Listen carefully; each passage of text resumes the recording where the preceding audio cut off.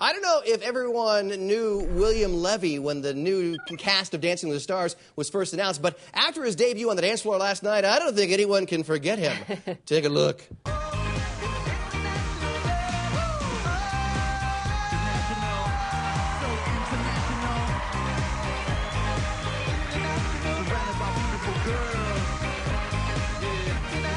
Look at those pipes.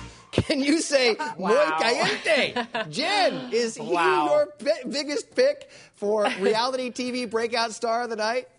Absolutely. I have to admit, I was one of those people who didn't know him, but all it takes is one quick Google search and you are hooked on this guy. And Yeah, yeah, from yeah. last night's episode, I think women are going to be voting for him no matter if he can dance or not. We want more William Levy on this show. Megan, 15 seconds to drool. Go. Although he's new to American audiences, this is a mega superstar in Latin and South America. Carlos, I think ABC wants to pull in those diehard fans of his telenovas, uh, those soap operas that he's on in Mexico, bring them to ABC. And because he caused a frenzy last night, I think they made a wise choice.